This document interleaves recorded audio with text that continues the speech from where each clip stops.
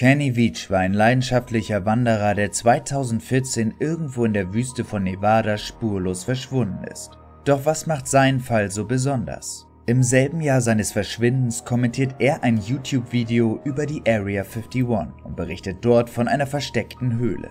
Diese Höhle hat auf Veach einen verstörenden Eindruck hinterlassen. Als er sich dem Eingang näherte, soll sein gesamter Körper vibriert haben und je näher er der Höhle kam, umso stärker reagierte sein Körper. Aufgrund dieses Phänomens entschied er sich dagegen, die Höhle zu betreten.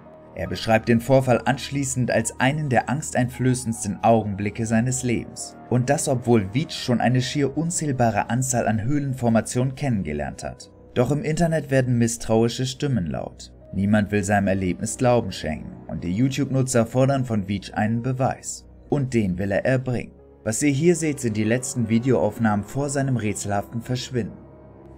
And uh, I'm looking for a cave that I, I found, and I didn't have a I didn't have a sidearm when I was here before, and something about that cave just spooked me out of all the caves I've ever gone in. This one just made my body vibrate. The closer I got to it, the crazier my body felt, and I was like, all right, I'm not gonna go in there right now, but I'm coming back someday. And I talked to some people on YouTube, and I told them, hey, I'm coming out here, you know, because they, they kind of called my hand on it. So I don't know if there's going to be anything to it, but it, it might be interesting. Uh, if I can find it, I got to relocate it, and this is a big mountain range I'm in. Was auffällt, Veach hat dieses Mal eine Handfeuerwaffe dabei. Die Begegnung mit der mysteriösen Höhle hat einen derartigen Eindruck auf ihn hinterlassen, dass er sich bewaffnet hat. Erneut macht er sich tief in der Wüste von Nevada auf die Suche nach der Höhle, die ihn seit seiner ersten Begegnung nicht mehr losgelassen hat. Doch die Höhle scheint unauffindbar. Well, I did not find the cave. That is so weird. I mean, I thought for sure I was just gonna be able to find it. Um, I remember it being fairly easy. Uh, who knows? But I am at the mouth of the canyon. There, I'm just now coming out.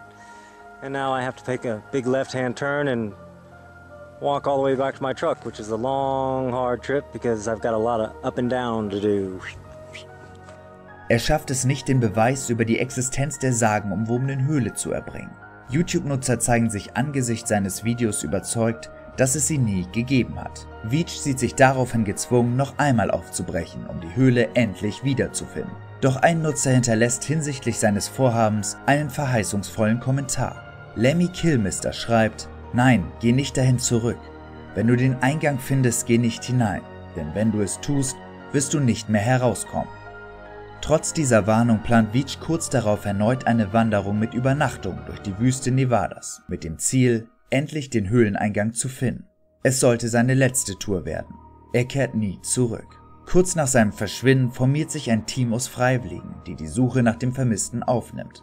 Der Trupp kann schließlich das Handy von Veach in der Nähe eines Minenschachtes sicherstellen, doch vom Hobbywanderer fehlt bis heute jede Spur. Was mit Veach passiert ist, konnte nie geklärt werden. Eventuell wurde er von Wildtieren wie Klapperschlangen oder Giftspinnen angegriffen oder ist irgendwo in ein Minenschacht gefallen. Vielleicht aber hat er auch die sagenumwobene Höhle wiedergefunden und der YouTube-Nutzer Lemmy Killmister sollte Recht behalten.